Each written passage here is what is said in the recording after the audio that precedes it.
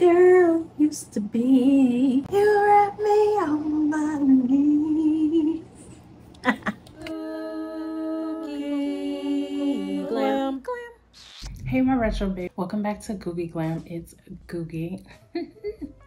I am your favorite Afrofuturistic retro babe, also your favorite YouTuber. Today is a very interesting video because I'm gonna be doing a makeup review as well as a get ready with me inspired look. I got my package from Glam Goth Beauty. If you do not know what Glam Goth Beauty is, you've been living under a rock, especially if you're this color. Like, hello, Marley represents all of us all black babes. Like, support her. What is wrong with y'all? This was a collaboration with Bete Noir and it is so cute. Like, look at the inside. It's giving Beetlejuice vibes. And there are my palettes. When this came, first of all, the shipping was extremely fast. These are the contents. When I first unboxed this, let me tell you guys, normally makeup palettes aren't like, I mean, they'll put bubble wrap in there, but they don't make sure it's secure. But this was secure, secure. Like, nothing, if you dropped it, it was not going anywhere because she had it wrapped, bubble wrap, bubble wrapped again, tape. Like it took me a while to unbox it. I do have a video showing how it looked when I first opened it, but these are the contents. Once I saw that there was a restock of all the palettes, I got them all. I couldn't help it. Like, so I got all of her palettes. I got the, um, her newest blush palette kit, but I was kind of disappointed that it only came with the mirrors and the necklace. Like I really wanted the lashes, the glitters, the lipstick, but I can always buy that separately. Honestly, I'm a beauty supply store lash girl anyway, even though her lashes are amazing. So yeah, this is what I got. Okay, so first up we have the Dark Renaissance palette. I love for her packaging, she has her face on everything because I'm that kind of girl. Which by the way, I do have my Retro Babe stickers. They're gonna be available in a couple weeks, so stay tuned for that. But um, I love how she has her face on everything. Like, if I were to have a makeup line or anything else, I'll put my face on it too, because why not? And that's the back. So it's really cute. Let me see if I can open this. So this is the palette. And then these colors, first of all, I want to talk about how big the pans are.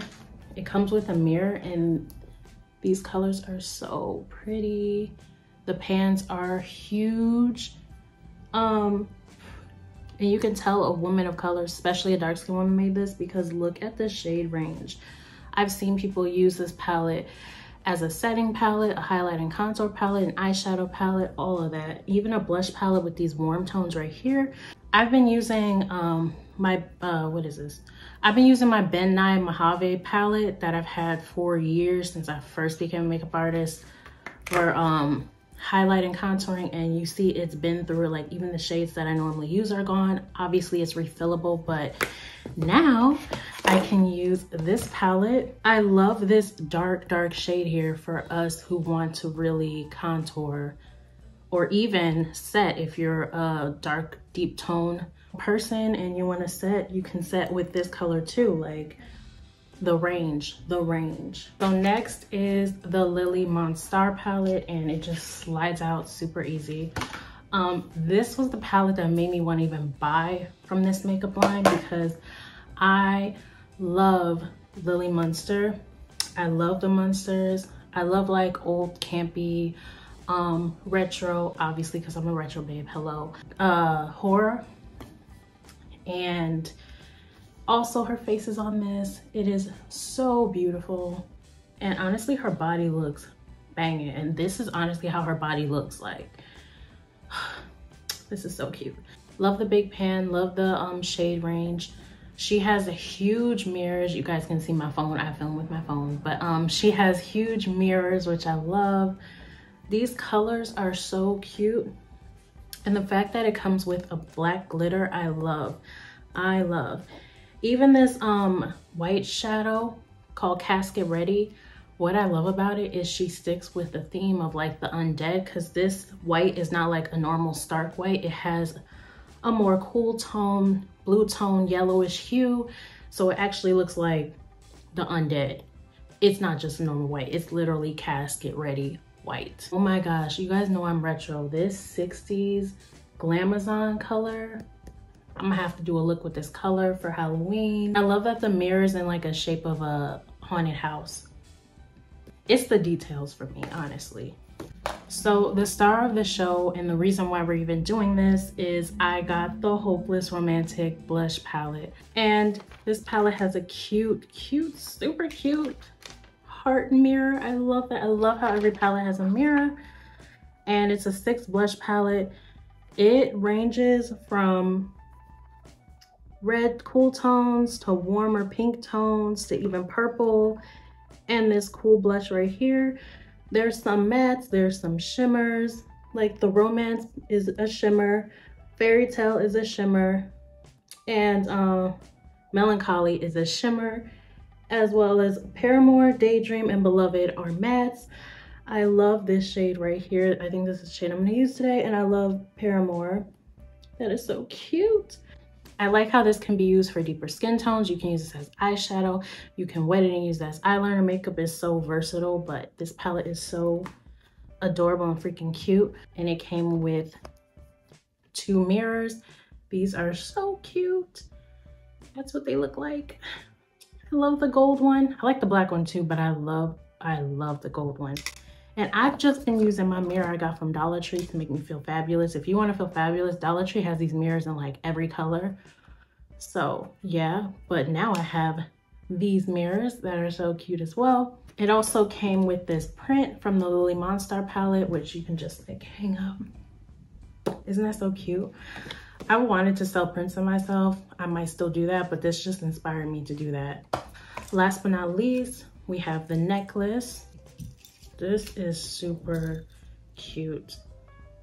Like, I'm allergic to, um, I don't want to say fake jewelry, but in synthetic jewelry. And I'm pretty sure that's what this is. I don't think this is real silver, which no shade to her. Like, this is a beautiful necklace. It's just, I will swell up. So I can't wear it, but it's so cute. And I can still use it as like house decor. Love that for me. All right, so now that we did all the unboxing and initial thoughts and review, we're gonna get into the makeup. I was dehydrated.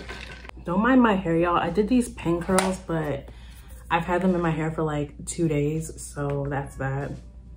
Um, I really want to do the um, Gwen Stefani look from Sunday morning music video. Basically that. Can you see that? Oh, yeah. I want to do that, but like GOOGii Retro Babe style. Um, Gwen Stefani is known for like her pinup looks. Like if I were to describe a retro babe, my definition, it would be Gwen Stefani. Obviously, I know um, she has done a lot of cultural appropriation. We're not gonna deviate from that. But um, when she was like first out with No Doubt and she was doing the retro looks before it became like the cultural appropriation chola, those are the looks I'm talking about. We're gonna use the black and I think I wanna um, set my face with, what is that, Madonna. So yeah, we're gonna use Madonna and we're gonna use the black for our brows. This is my favorite setting brush because it's flat and it's like light so you can just really just press it in Oh, this is nice. This really just settles into the skin. Wow. This is a really bright under eye child. I feel casket ready, which normally I would hate, but like, because I'm doing like,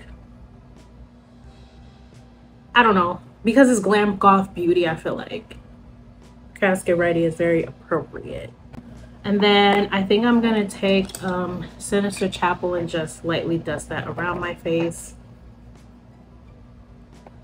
to set my foundation with the big old fluffy brush. Um, I like to do my highlight and contour with powder, so I definitely will set first, then do the makeup and all that. And I think I'm just going to use a little bit of David. That's not really bright right here in the corner.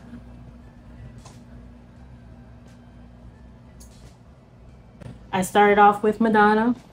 I mean, sorry, Madonna, then David in the inner corner. And then all over the face, I use um, Sinister Chapel. And I'm probably going to contour with Sculpture and Chiseled. But yeah, I use this little brush. It's so old to contour with. We're going to go in with Sculpture first. Oh my God, do y'all see that? Wow. I like the way, the quality of these shadows. I like how they just melt into the skin. It's not sitting on top. It's not chalky. The sculpture is just doing it for me. Oh my God. I live. Just gonna do a little bit here. Just because I like the real angled look. I'm gonna take just a little bit of chisel and just right in there because we want to look undead. Oh my god. Look at that. Oh my god. I'm gonna take this lip brush because I like my brows to be very precise and also I do the under the lip liner with um black so we're gonna use Raphael I just want really angled brows. This is really black. Okay. Okay. I like to concentrate most of it on the outer part. You look like a villain. So let's do the other side devilish. I just use my e.l.f. Camo, no, Hydrating Camo Concealer and Deep Olive. I generally like using a yellow undertone, very warm concealer when I do color brows because I feel like it really blocks them out. And then I'm just going to use this tiny brush because I like, like I said, to be precise. I don't know if you guys are Drag Race fans, but the way that um Shea Shea Coulee does her brows, it just I want to start doing my brows like that. Where it's like high, tiny, tiny tail, and then very wide and thick, dramatic beginning of the brow. We're done with the brows. I did a little slit. I used that same concealer as my base. And now I'm gonna use the color Florence. Yeah, Florence to set my eye. Florence is a little dark. So it's just gonna, I don't know. It's just gonna be the base. We're just gonna go with it. Well, these shadows are so good for setting makeup. I don't know what this formula is, but it's so like buttery and soft and just melts. In. And I love that. Like i said for the gwen stefani look it's more of a just like a classic pinup look. So in the 90s just basically the brown eyeshadow and then just the red lip but we're gonna jazz it up. So um i'm gonna use the most neutral brown i can find in this dark renaissance palette which there's a lot of warm brown so i'm probably just gonna use van gogh that's a lot darker than i expected it to be but we're gonna go with it it's fine I like to blend my inner corner eyeshadow into my brow. That's just my thing. So taking a concealer brush, we're gonna go back into Madonna and put that on the lid. Just to reinforce that lightness.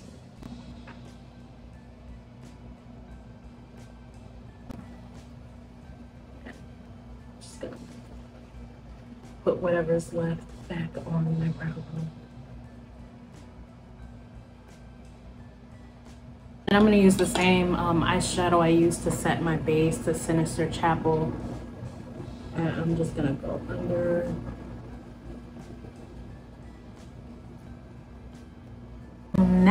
We're gonna use the Hopeless Romantic palette and this is where we're gonna spice up your life. I can't decide if I wanna use Paramore or Daydream. I think I'm gonna use Daydream. So you can definitely keep this look a thin liner and then do your lashes and then do the red lip. But to spice it up, I'm gonna take a little bit of Daydream and put it right where I put that dark color just to give like a pink hue.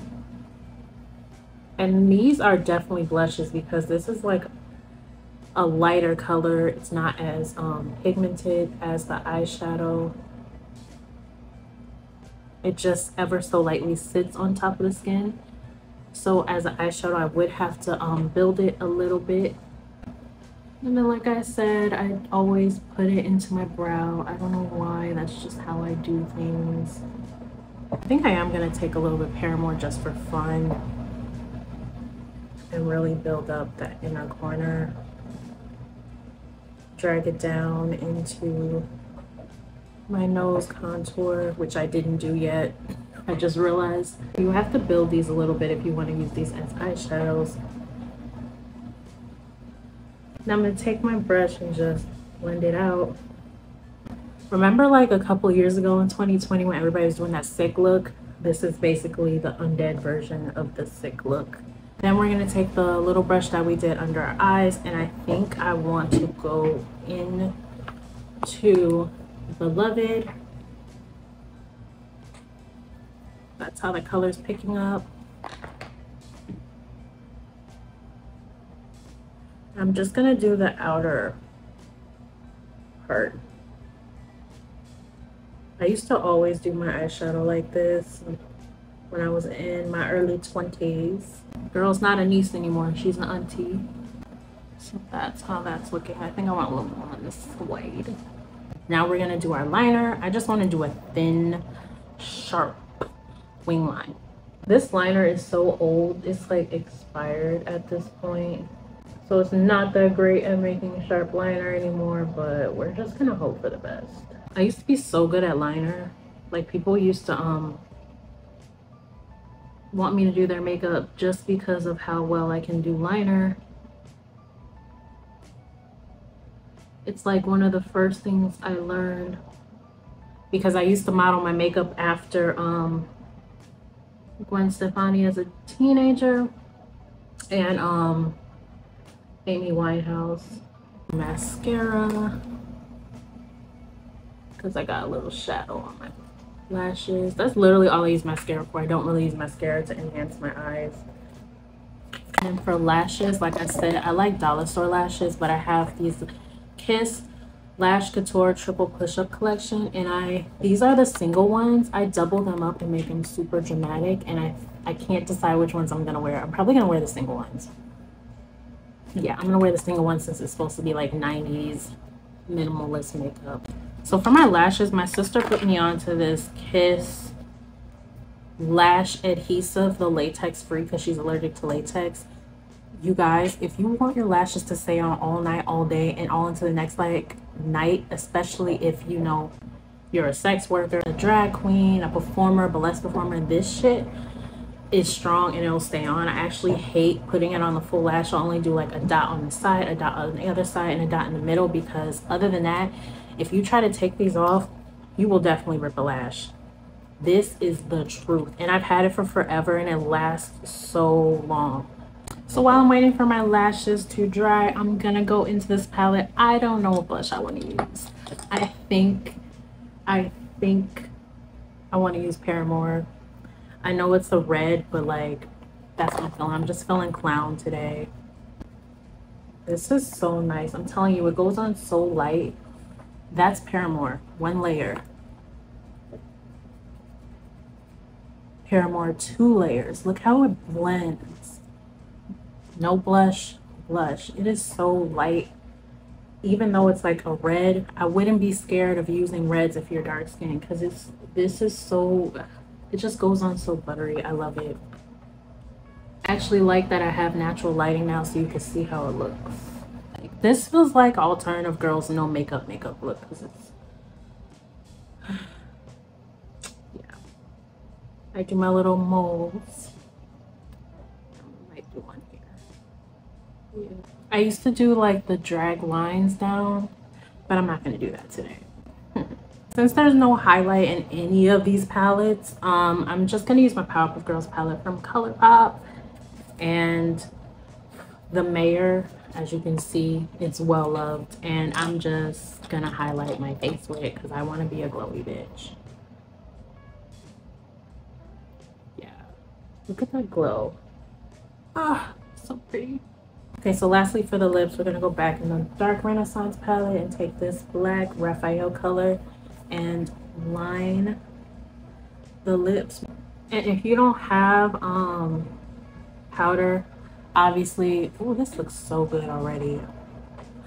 You can use I have this velvet matte color. Sorry velvet merlot I think I want to use let me see. It's a little dark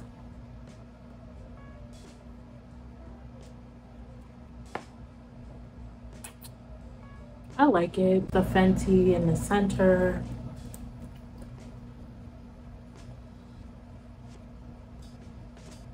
just a couple of dots.